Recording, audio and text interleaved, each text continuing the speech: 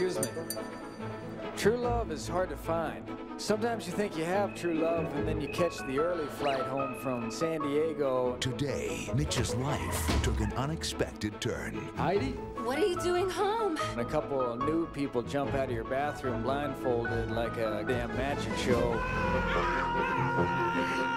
I'm really sorry. He's starting over. Mitch, you're on the rebound. You're like an injured young fawn who's been nursed back to health, who's finally going to be re-released into the wilderness. With a little help from his friends. I want to thank you very much for coming to the official Mitch Martin Freedom Festival. He's a very successful, very disease-free gentleman standing by the minibar. DreamWorks Pictures presents Guys Reliving All the Fun of College. Good morning. Now that was a party. Wouldn't you want those good times to keep going? This is my house.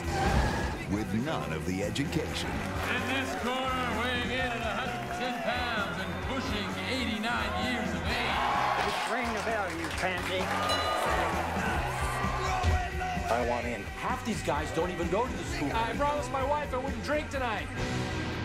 Yeah, I'll do one. I'll do one. I'll do one. Come on, everybody! Once lips, it's so good. Don't you think this is going a little far?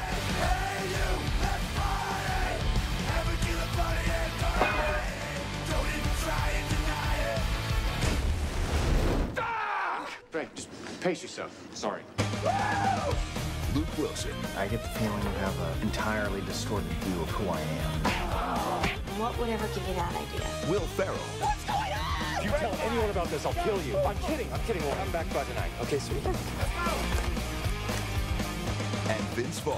My wife, always smiling, I, I'm judging, watching. Look at the baby, look at the baby. Be careful, that's the most powerful trank gun on the market.